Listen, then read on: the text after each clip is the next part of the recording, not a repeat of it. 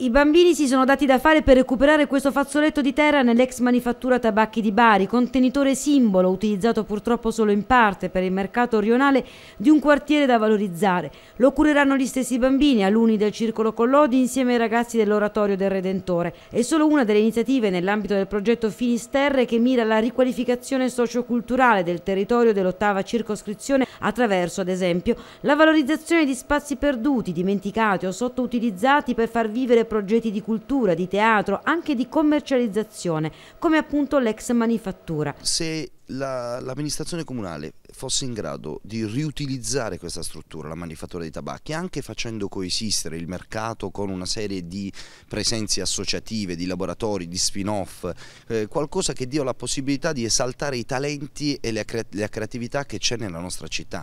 Idee raccolte dall'Associazione Internazionale Learning Cities. La prima esigenza emersa è un nuovo dialogo tra pubblico e privato e soprattutto nuovi spazi. L'idea è quella di costruire soluzioni sostenibili. Nessuno ha pensato diciamo, di raccogliere fondi pur di sopravvivere.